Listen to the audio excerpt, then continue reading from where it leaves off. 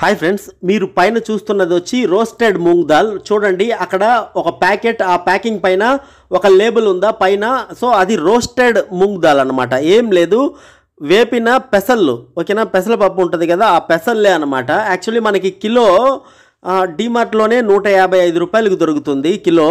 బయట తీసుకుంటే second quality ఉంటుంది తక్కువ రేటుకే దొరుకుతుంది నాకు తెలిసి ఒక నూట ఇరవై నూట పది ఆ రేంజ్లో దొరకవచ్చు బయట.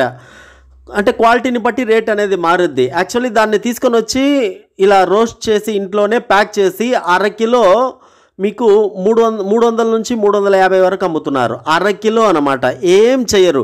పెసలు తీసుకొని వచ్చి వాటర్లో నానేసి తర్వాత బయటికి తీసి ఒక మూడు నాలుగు స్పూన్లు ఆయిల్ వేసి అంటే అది పరిమాణాన్ని బట్టి అంటే మనం ఎంత కొలతల్లో తీసుకున్నామో దాన్ని బట్టి ఆయిల్లో వేపుతారనమాట ఆయిల్ వేసి వేపి దాంట్లో సాల్ట్ పెప్పర్ పౌడర్ లేకపోతే చాట్ మీకు చాట్ పౌడర్ ఉంటుంది కదా చాట్ మసాలా అవి.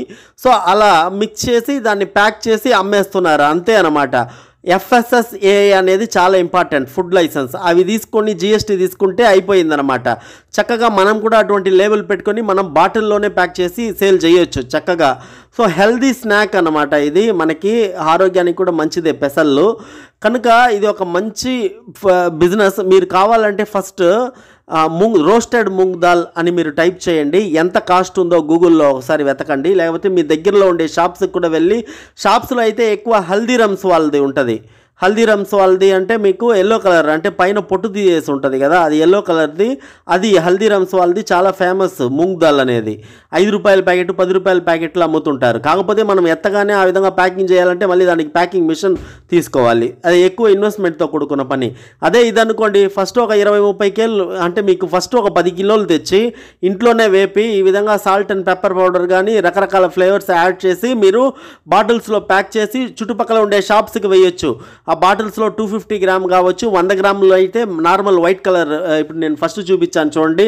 అలాగ ప్లాస్టిక్ కవర్లోనే ప్యాక్ చేసి పైన లేబుల్ కంపల్సరీ ఉండాలి. మీ బ్రాండ్ నేమ్ నెక్స్ట్ ఆ ఫుడ్ లైసెన్స్ ఉంది కదా అది ఎఫ్ఎస్ఎస్ఏ కూడా క్లీన్గా ఉండాలి నీట్గా. నెక్స్ట్ మీరు దాంట్లో ఏమేమి యాడ్ చేశారనేది ఇంగ్రీడియంట్స్ కూడా అక్కడ ఉండాలన్నమాట లిస్ట్లో. ఫస్ట్ చుట్టుపక్కల ఉండే షాప్స్కి వేయండి. అంత కాస్ట్ అంటే నేను ఇప్పుడు అరకిలో మూడు వందల యాభై అన్నా మూడు వందలు అన్నా. ఆ కాస్ట్ వద్దు మీరు తక్కువకే వేయండి. మీకు కిలో నూట పది రూపాయలకు దొరుకుతుంది. కిలో మీద మీరు ఒక యాభై రూపాయలు మార్జిన్ పెట్టుకొని వంద రూపాయల మార్జిన్ షాప్ వాళ్ళకి ఇవ్వండి. కిలో అమ్మితే వంద రూపాయలు మిగులుతుందంటే కళ్ళు మూసుకొని తీసుకుంటారు షాప్ వాళ్ళు. మార్కెటింగ్ వాళ్ళే వేసుకుంటారు సో షాప్స్కి చుట్టుపక్కల మొత్తం వేయొచ్చు. దీనికి ఏది కొనాల్సిన పనిలే మూంగ్ దాల్ ఉంటే చాలు. జిఎస్టీ ఎఫ్ఎస్ఎస్ఏ ఇంపార్టెంట్ అంతే వేరే ఏం లే. మొత్తం ఇంట్లోనే చేసేయచ్చు అనమాట సో సీలింగ్ మిషన్ కూడా పదిహేను రెండు వేలలో మీకు అమెజాన్ ఫ్లిప్కార్ట్లో దొరుకుతుంది. రెండు వేల ఐదు వందలు పెడితే మంచి క్వాలిటీదే దొరుకుతుంది.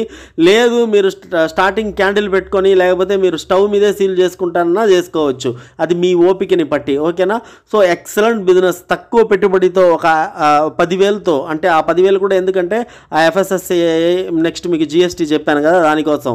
చక్కగా ఇంట్లోనే స్టార్ట్ చేయొచ్చు. ఇంట్లో నుంచి చేయగలిగే బిజినెస్లో ఖచ్చితంగా ఆదాయం వచ్చే బిజినెస్ ఇది. ఫస్ట్ తక్కువ అమౌంట్తో ట్రై చేయండి. తర్వాత సక్సెస్ అయిన తర్వాత పెద్దది చేయండి.